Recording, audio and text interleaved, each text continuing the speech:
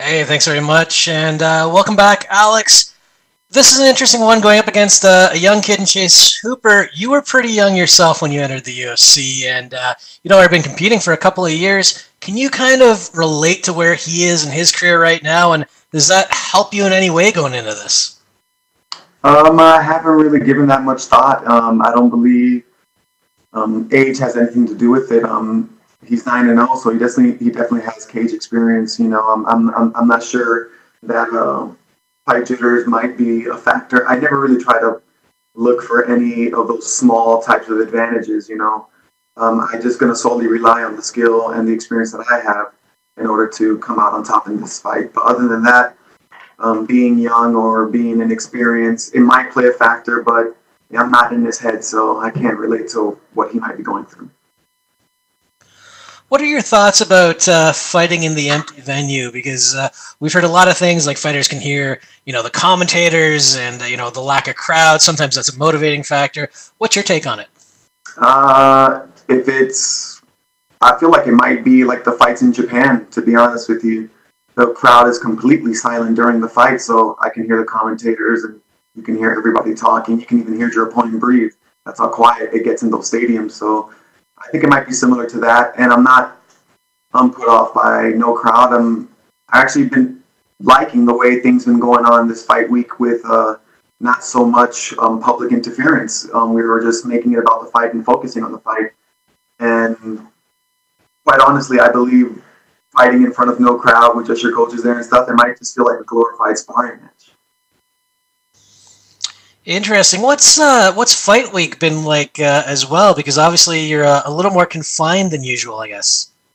That's been nice, you know, just focusing on the fighting training. Uh, it's it's like a, I guess, fight camp or just training every day. Though what I usually do, I'm not too much of a um, public person. If anything, I keep to myself. I stay home, I chill and train, and you know, I go out sparingly. But other than that, um, it hasn't been too much of a hassle. It's been a very easy weight cut as well. So uh, I've been feeling good. Good to hear. And last one for me. I mean, you've been in the UFC for so long now. It kind of feels like you're one of those guys who's experienced everything. But the last few months, and especially even the past week in America, has been just unprecedented times. Uh, just give us your thoughts on that. And, you know, have you been able to maintain your focus on the goal ahead with everything that's going on? Well, definitely. The the fight comes first, the art comes first for me. So I have been able to maintain focus.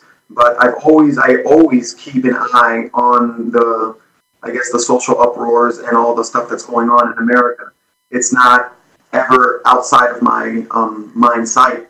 I know that this has been going on. It's nothing new to me. It's been going on, and, and I personally experience um, such things like racism and, and those kind of things. So I know it's prevalent in America, and it's always there. We're just videotaping more of it, quite honestly, because we got better cameras and phones, and everybody is documenting these things going down. So I do believe that it is a problem, and it has been a problem for many, many years.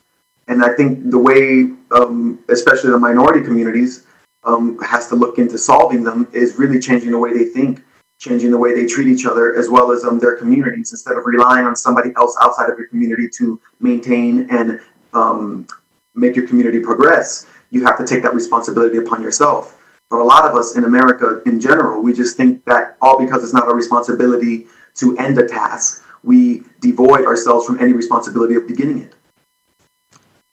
And I, I appreciate your candor there. And I know you, you said you'd experienced uh, some yourself. Would you mind sharing? And, and, you totally don't have to, but would you mind sharing some of those experiences? Well, yeah. Um, well, growing up in, uh, I, I, I, will, I, I grew up in a in, in a bad neighborhood, and then we moved to the suburbs a little bit later, and then um, just that itself, I experienced um, it very difficult for me when I was younger to like uh, talk to people or connect with people because they saw me in one way, and many often more and oftentimes, you know, like they'll say stuff like, you know, uh, like they can't accept the way your hair is, or um, or, or you're ugly because you have dark skin. So it really caused an identity crisis for me, and I'm sure a lot of people of um, um, darker pigments um, growing up. But besides that point, there are some even more crazier situations. Like I remember when I was in high school, I had a Honda Civic. I blew out a tire, and I had um, and I think the engine just shut off, so I had to go push it home. And as I was pushing the car home, you know, on the side on the shoulder of the road, I'm pushing the car home. A cop comes and screeches right behind me to a screeching stop. Jumps out the car, gun already drawn, pointing it at me and barking orders. And then what I could make out was he wanted to see my ID. So my ID's in the car. So I'm like, I'm gonna go get my ID. The minute I stop pushing the car to grab my ID, he clicks the trigger back, you know, and just like, don't move. And I'm like, oh, fuck this shit. I'm gonna get on the ground and I'm not gonna do anything. You can grab my ID if you want. But more than that, more than one occasion, situations like that has happened to me. So it's I lose a lot of faith in the people that are supposedly there to protect you. I feel threatened when a cop pulls up around me or when they're near me because I know how situations can escalate for no reason. Absolutely. Um, I remember being in a concert in in, uh, in another high school, and I got into an argument with a security guard there because he tried to physically manhandle me and was not successful. Therefore, when I was walking back um, out of the school because I'm trying to avoid the conflict, a police officer just jumps from behind me and puts me in a chokehold and tries to bring me down. I defended myself, and he starts screaming, "I'm a cop! I'm a cop!" Like, and then we they brought us into the whole principal's office, and thank God the superintendent and the counselor there was on my side. He said, "Well, you can't just do that to people because people are going to react in that way. You can't treat people that way. We can't expect people to walk around completely docile. You know, we're human beings and we all are entitled to our own freedoms. And my freedom ends where yours begins. So we should stop trying to approach on people's freedoms that way. We can't treat people like they're cannon fodder, I should say. Yeah, man, that's wild. I really appreciate you you sharing that with us, and uh, best of luck on Saturday. Thank you very much. And we will take the next question from Mike Heck with MMA Fighting. Actually, I forgot to put my hand down. I'm sorry. You're fine. Thank you, Mike. We will instead take our next question from Danny Segura with MMA Junkie. Hey, Alex, how's it going? It's been a, a little bit since we've talked. Um, the last time we spoke, you told me you were relocating to South Florida. So, how did that go? How did that process go? And how was your training camp this time around? Since you know you have a new home.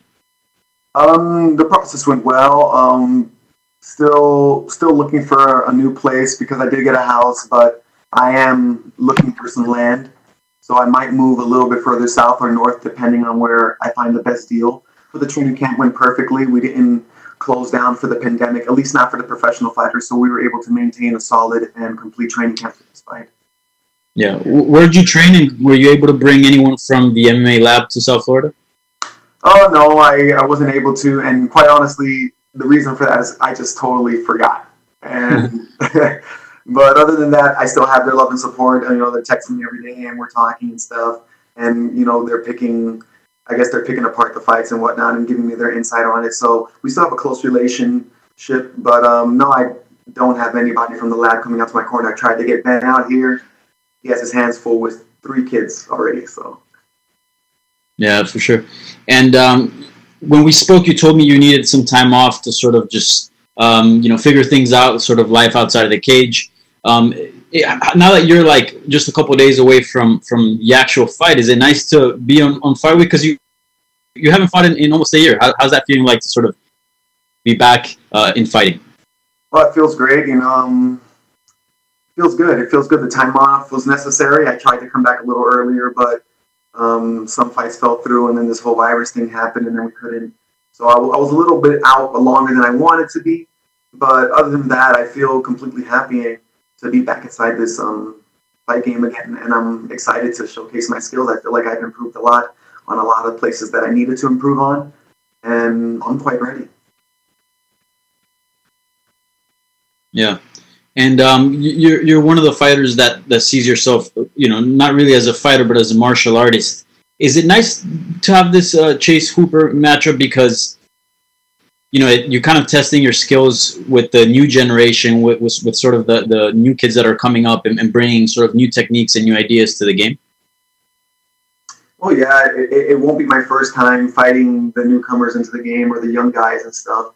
Um, I I feel like I tend to have a, a few fights like that. So um, uh, I haven't really thought about that per se, but other than that, um, I feel good going into the fight. I'm not I'm not worried. If anything, I know that you know with the way things are, with the way things have gone with my record and and um, my my career and running, um, I know that I'm somewhat of a gatekeeper at this moment, and I will accept my position, but I won't be satisfied with it. I am trying to push further every single day, but I know where I'm at right now in the standpoints, especially when it comes to rankings and I guess what everybody else sees. But I know what I'm capable of, so um, for me, it's a yeah, like you said, it's a good proving ground. Yeah, that's interesting. A lot of fighters might not like admit that, as far as like feeling maybe like they're gatekeepers. Um, what do you think? You know, since you want to break out of that what do you think it will take to sort of get out of that label? Well, definitely, I got to win fights. You know, that's that, that's definitely the major thing, and I think it's probably the only factor. I, I have to put together victories in my fights. You know, and being exciting, it comes with who I am. So I don't have to try to do that. All I got to do is just try and put together victories. Um, but other than that, even victories or no victories, I feel like in every fight that I step into and every time I step into the cage once again, we do see improvement. We do see even, and it's hard for me to see it after the fight, you know, because we're always down and out if I do lose, but I do see improvement. I do see my game um, getting better, and wholeheartedly, my ultimate goal is to improve myself every single day. Um, of course, it would be nice to try and win as many fights as I can and put my name out there, get the title, you know, become a contender get on the top five ranking spots. That's a beautiful thing. And I know it comes with the hard work and trying to be better every day. So I just have to continue that journey. And um, whatever happens will happen. But at the end of the day, I'm a martial artist and I just want to fight. Um, everything else is extra. I can take those gifts and rewards and at the same time relinquish them because there's nothing more than you're actually getting in there and testing your abilities with the best in the world. Yeah, for sure. And and you mentioned that you were looking to buy some land. You're finally going to set up the farm. Well, yeah, garden. Well, I have like mini farms in the backyards of, the, of both houses that I have right now. So just, I have like over 20 fruit trees in one of my backyards. So I always love growing and planting stuff. But yeah, when I do get the land, I definitely want to um, grow in a larger scale, as well as set up my um, dojo there.